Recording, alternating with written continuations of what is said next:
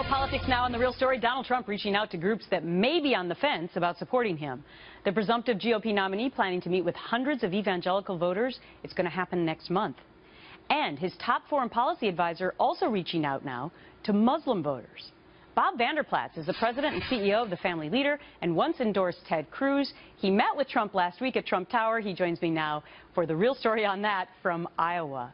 Mr. Vander Plaats, it's so great to see you. The last time we spoke, I think we were talking about the Iowa contest where you were supporting Ted Cruz, and it was a very important endorsement there. And I remember Donald Trump saying some not so nice things about you back then. Why would you meet with him at Trump Towers? Well, I, I, think it's an opportunity. Donald and I go way back, five, six years, and we have a relationship. I understand the context in which he did the tweets. Uh, he was afraid that Ted Cruz was going to overtake him in Iowa, which Ted Cruz did. Uh, but now that, you know, the primary, he's the presumptive nominee. It was an opportunity to visit with Donald Trump. And I think the encouraging news for conservatives is the door is open.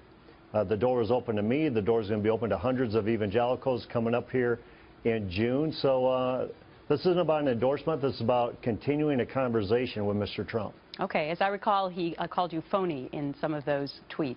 Uh, but nonetheless, I'm interested in knowing when this other meeting happens on June 21st with 500 evangelical leaders, uh, most of whom have not endorsed Mr. Trump. Uh, should the message here, Mr. Vander Plaats, be that people of faith should stay home in this election cycle or should get behind Donald Trump? Well, I think right now everybody's taking a deep breath, and I think the reason for the conversation is going to happen in June is to really try to determine uh, the way going forward. Obviously, there's some current concerns about Mr. Trump. There's some valid questions about his candidacy and what he'll be as a president. And there's a lot of evangelical leaders who want to get that cleared up before they either endorse him, support him, vote for him, or what, what they do moving forward. So I yeah. think this is a, a great opportunity. Remember, I think Mitt Romney and John McCain would have been served well had they had an opportunity like this to meet with evangelicals before the 08 and, and the 2012 race. So I applaud Mr. Trump for saying, I'm willing to sit down and meet with these these people. Okay, uh, real quickly before I get on to the Muslim outreach as well, do you think it's important to see who he picks for VP? I mean, could that be a, a difference maker? And or does it hang a lot on the Supreme Court justices because the next president could could be naming four new people?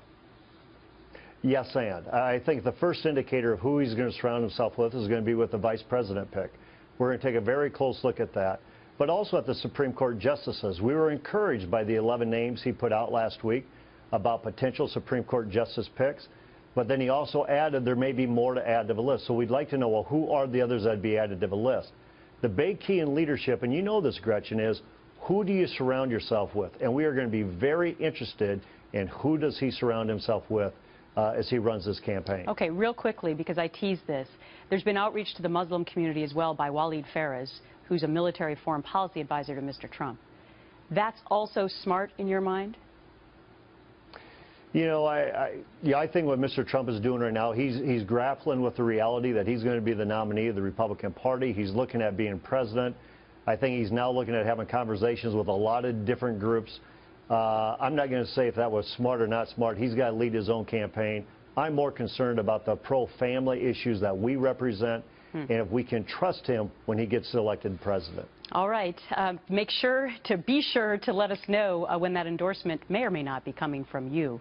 Mr. Vander Plaats, great to see you. Thank you.